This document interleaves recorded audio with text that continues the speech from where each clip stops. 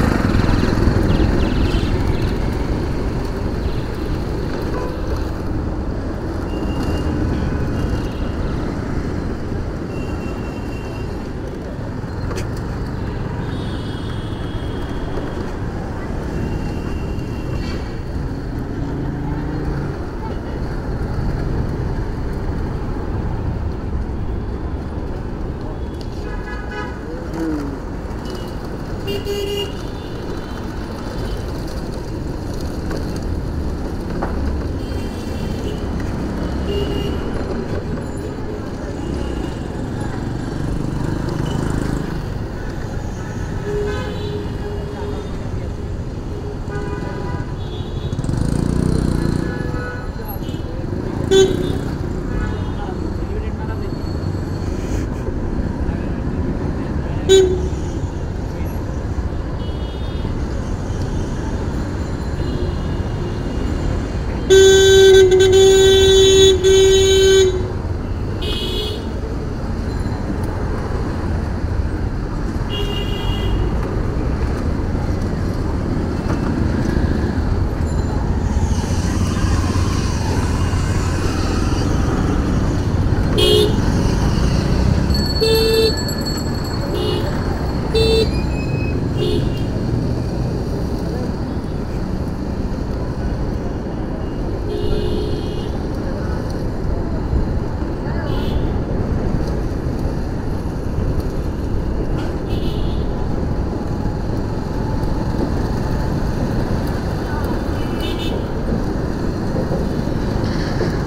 Hello বন্ধুরা, সবাই কেমন আছেন? আশা করি সবাই ভালো আছেন। তো বলতে বলতে আমার এই বাইকটা অলরেডি দুই হাজার তিনশো উনচল্লিশ কিলোমিটার চালানো হয়ে গেল। দুই হাজার প্লাস হয়ে গেল চালানো। এখন পর্যন্ত বড় কোনো প্রবলেম পাই নাই। আলহামদুলিল্লাহ। চলছে। তবে ফার্স্ট সার্ভিসিংয়ে নিয়ে যাব। এখন পর্যন্ত নিয়ে যাওয়া হয় নাই। খুব ভালোভাবেই চলছে।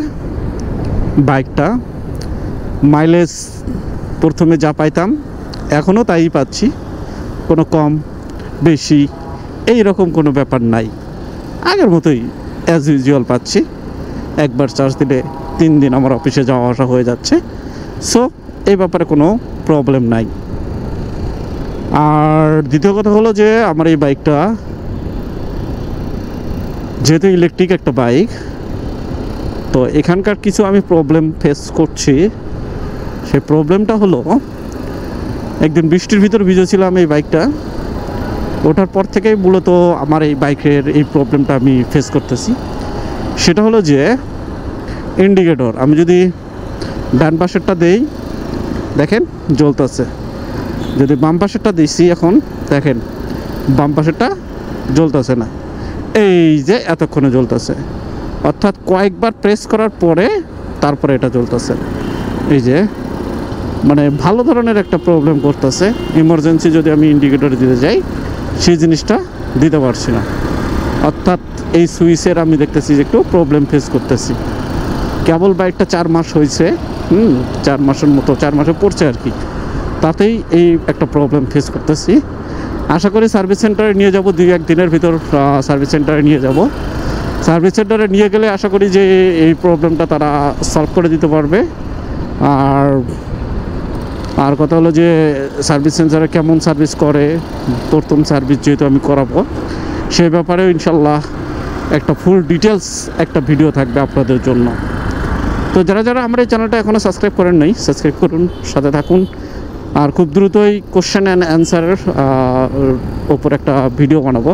আপনাদের যত কোশ্চেন আছে, এই কমেন্ট এই ভিডিওর কমেন্টে আপনারা করতে পারেন। কি কি বিষয় জানতে চান আমার এই ইলেকট্রিক বাইকটা থেকে? তো সেই সেই বিষয়গুলোর ওপরে আমি আরেকটা ভিডিও বানাবো। আশা করি ওই ভিডিওটা আপনাদের খুব উপকারে আসবে। বিশেষ করে ইলেকট্রিক বাইক কেনার ক্ষেত্রে অনেক উপকারে আসবে। আমার খুব কষ্ট হয় ভাই। কষ্টটা এই কারণে হয় যে আমরা আমাদের দেশে যে ইলেকট্রিক বাইকগুলো আসে, সেগুলোর বিল কোয়ালিটি তারপর ব্যাটারির কোয়ালিটি খুব বাজে হয়ে থাকে। হ্যাঁ? বাইরের এক একজনের আমি এই ইন্ডিয়াতে এক একজনের দেখি যে এক একটা ব্যাটারি এক লাখ কিলোমিটার চালানোর পরেও বলে যে টেন পার্সেন্ট মাইলেজ ড্রপও করে নাই। তাও দিব্যি চলতেছে, ছয় সাত বছর পরেও। আর আমাদের দেশের ব্যাটারিগুলো যেগুলো আনে লিড অ্যাসিড ব্যাটারি, এই ব্যাটারিগুলো মাত্র এক বছরও ভালোভাবে চালাতে পারে না অনেকে। সেদিন আমি একজনের সাথে কথা বললাম, এক আঙ্কেলের সাথে, তুমিও ইলেকট্রিক বাইকই ইউজ করে। হ্যাঁ তা আঙ্কেলটা বললাম যে আঙ্কেল কী অবস্থা? উনি তিনটা বছর চালাইছে। বলে, অনেক সাশ্রয়ী বাবা বাট এই যে ব্যাটারি, এই ব্যাটারি তোমার বেশি দিন টেকে না। এই ব্যাটারি সমস্যা করে। তো আমরা চাই লিথিয়াম আয়ন ব্যাটারি দিয়ে বাংলাদেশে ইলেকট্রিক বাইকগুলো আসুক। বিল কোয়ালিটি ঠিক অকটেন পেট্রোলের যে বাইকগুলো আছে, এই বাইকগুলোর মতোই বিল কোয়ালিটি দেখ। তাহলে আমরা যারা আছি, সবাই এই ইলেকট্রিক বাইক কিনে অন্ততপক্ষে হ্যাপি হতে পারব, খুশি হতে পারব এবং সাশ্রয়ী হতে পারব।